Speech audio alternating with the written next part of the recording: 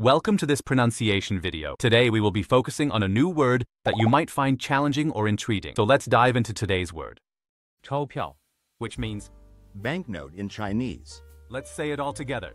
钞票，钞票，钞票， One more time.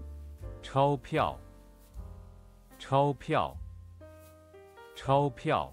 Thank you for joining us on this adventure in pronunciation. Remember, language is a journey, not a destination. Keep exploring, experimenting, and expanding your linguistic horizons. We'll see you next time.